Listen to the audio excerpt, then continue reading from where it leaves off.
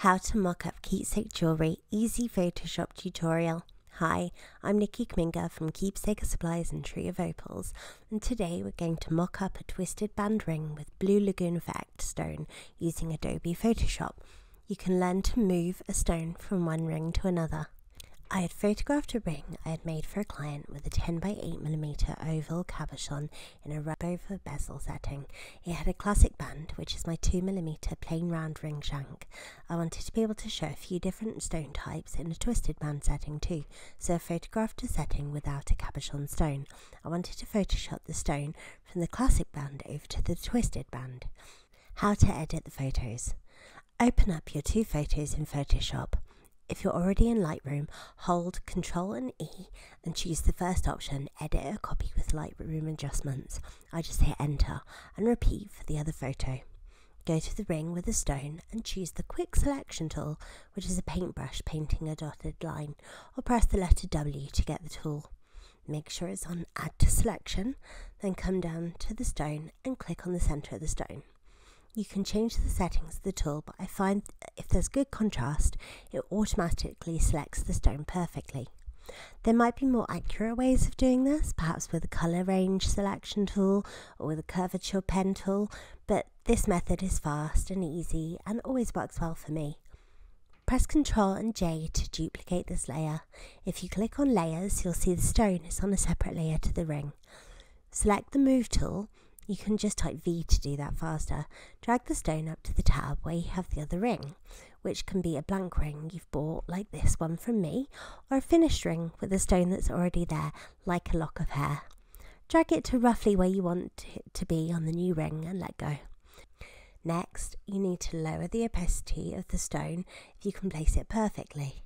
Go to layers here on the right and make sure it's on layer 1, which should be the stone. Then change the opacity to about 70%. Zoom in a bit. I like to control plus to zoom in, but you can also hit Z and click where you want to zoom in. Now move the stone around so it's pretty much perfectly in the centre. Click on the corners of the box to warp the stone. Click on the curved box at the top marked. Switch between free transform and warp modes. Now you can drag different areas of the stone out to warp it to perfectly fit the bezel cup. You can check back to the original image to see how it sits within the setting. The benefit of using Photoshop is that it can be a lot faster to get lots of images to use on social media and your website without having to take too many photos. Your client might want to see what one looks like before they're willing to buy. I'm busy designing a mock-up creator for my ring, necklace and bead settings where you can add your own designs. Look out for another video on that soon. When you're done warping, click the tick to commit transform, then go back to layers. Change the opacity of layer 1 back to 100% and you're done. Control and S to save and your mock-up is finished. You can close the file and also the original image. No need to save changes to that one you can go back to Lightroom and in the library edit the title and description of the new image before exporting with your watermark. This video isn't sponsored, but if you find it helpful, please let me know in the comments. If you'd like to know about the camera I use, the tripod and lightbox, or how I edit photos in Lightroom and Photoshop, drop a comment down below. Would you like to find out how to get the perfectly white background with a natural shadow underneath? Don't forget, I've linked to all the supplies I use for the rings in the video description, or there's a link in my bio, or you can just go to keepsakesupplies.com.